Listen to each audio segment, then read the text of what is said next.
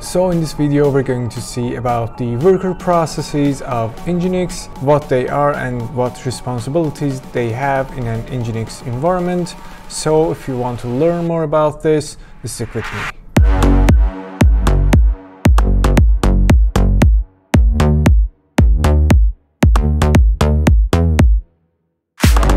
Hello and what's up guys, Medium Guy here and welcome to the next video in the Nginx video series in which I've tried to explain about all the concepts and all the options that Nginx gives in its open source version. So if you want to learn more about the other features of Nginx, I've got the video series link down below, so don't forget to check it. So in this video, we're going to have a look to the worker processes in Nginx, how to configure them based on our infrastructure that the Nginx instance will be running on. So without any delay, let's get down to work.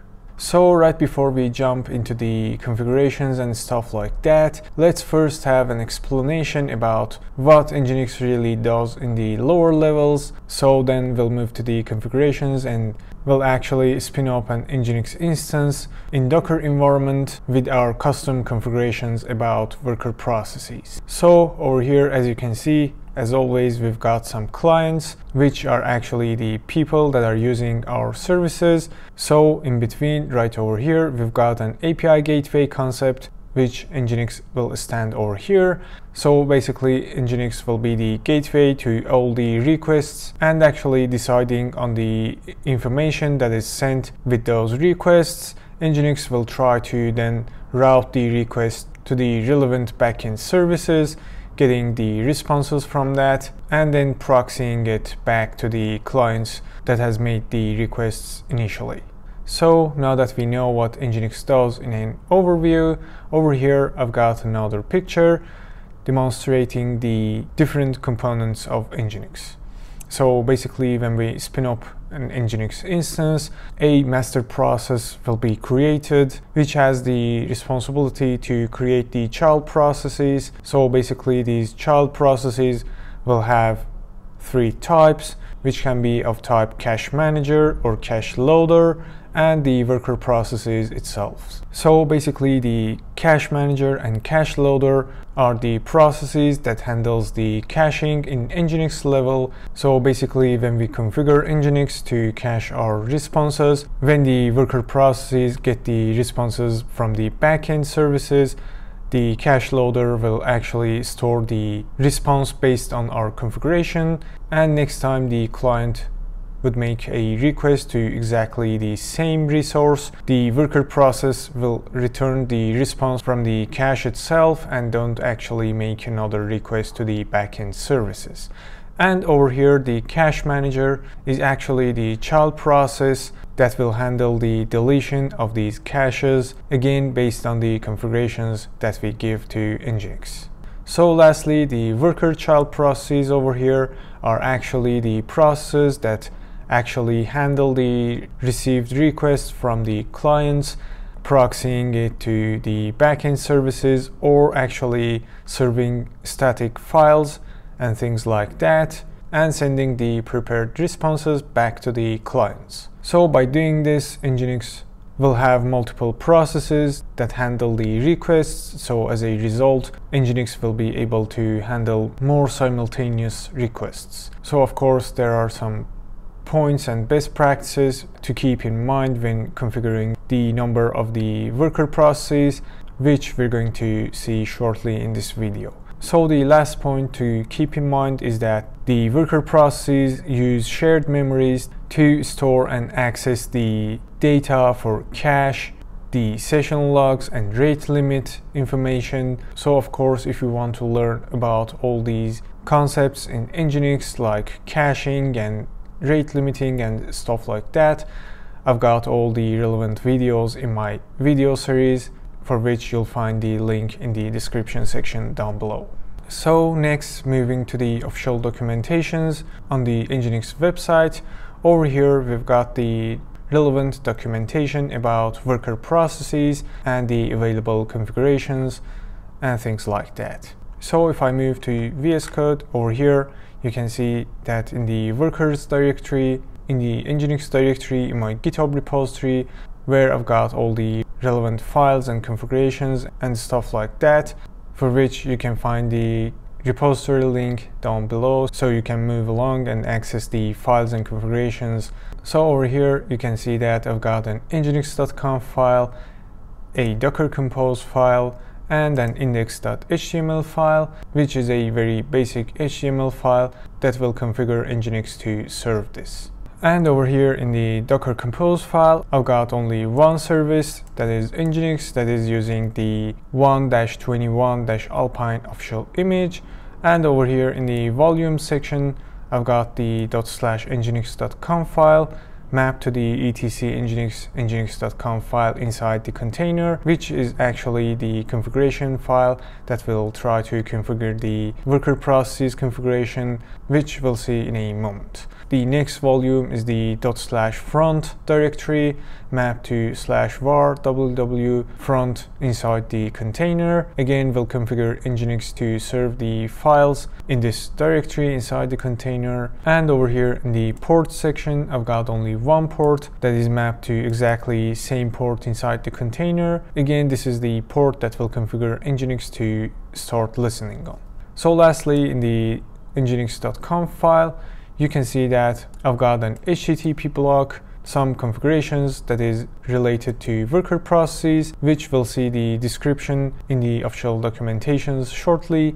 And over here in the server block, the listen port is the exact same port that is mapped outside the container. The client max body size is set to 64 megabytes, which is the maximum size of the client's request's body. And over here I've got only one location block which is using the root directive that is pointing to the exact same location that I mapped the front's HTML files inside the container. And next I've got an add header by which I'm trying to allow star for the CORS policies. Again, if you want to deep dive in the CORS configurations in Nginx, I'll leave the relevant link down below. So next I've got the try files, which is the directive to configure Nginx to try to serve the requested files. And by using the index directive, I am defining the file to be used if the client made a request to a path. So basically, if the client makes a request to the root path and actually does not define anything after that like index.html, Nginx will actually first look for the index.html file in this given directory over here. If it finds, it'll serve it. If not, it'll look for the next file which is index.htm in the exact same directory. And again, if it doesn't find that file, it'll actually respond with 404, which is the error for the resource not found. So now that we have our basic configuration and necessary files to spin up an Nginx instance, let's move to the official documentations and actually gain some information about the worker processes configurations. So the first configuration is the worker AIO requests with the type of number, which is actually the maximum number of outstanding asynchronous AIO operations for a single worker process. Next, we've got the worker connections, Again, it is a number which actually sets the maximum number of simultaneous connections that can be opened by a single worker process. So just keep in mind that setting this to a higher value with lower resources won't actually increase the performance, but actually it may cause some performance issues. And again, setting this to lower values won't actually let Nginx to use up all the resources that is available for it. So next we've got the worker processes, which is again a number and by default it is set to auto by which we can actually define the number of worker processes. Again the same rule applies as the worker connections in which if we set it to lower values Nginx won't be able to use the available resources and by setting it to a higher value we might actually have some performance issues. So basically it is best recommended to set it to the available number of CPU cores that we have in our machine that we're running Nginx on. And next we've got the worker R limit NO file, which is again of type number, and it actually changes the limit of the maximum number of open files for the worker processes. So basically this is used to increase the limit without restarting the main process. And as the next and the last configuration, we've got the worker shutdown timeout, which configures a timeout for a graceful shutdown of worker processes. So basically by setting this and when the time expires, Nginx will try to close all the connections currently open. So the point that you should keep in mind is the context over here, which is defined on each configuration. So basically, if I go to the configuration file, the main context will be inside the HTTP block and the events context will be inside the events block that we define over here. So like for example, over here, the context for the worker connections is inside the events block. So basically this is how we configure the worker processes configurations inside the Nginx configuration file. Well, that was a lot of configurations that I used. So in order to test this, I'll move to the terminal. I'll hit ls to make sure I'm in the exact same directory that I've got my files. So by only saying docker compose up-d to run in the detached mode. So as a result, we'll see that docker compose will create a network and the container attaching to that created network.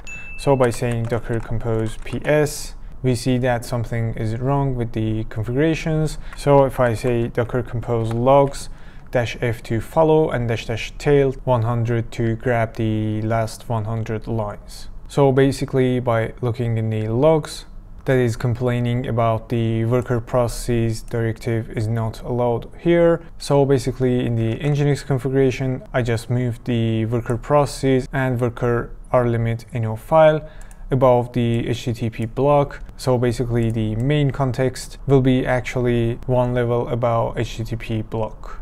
So actually after changing the locations for these configurations, and restarting the container, Nginx container starts correctly and it's actually ready to accept connections. So basically if I go to the localhost port 9999, I should be able to receive the response for the exact same HTML file that is served by Nginx. So that's all for this video. I hope you learned something new in this one. Again, don't forget to watch other videos in this Nginx video series where you can find about all available configurations, things like IP restrictions, rate limiting, caching, and cool stuff like that. So if you have any questions, any recommendations, you can ask me in the comment section down below. And if you like the content, please don't forget to hit the like and subscribe button to help grow the channel and support me to create more free contents like this. So with that,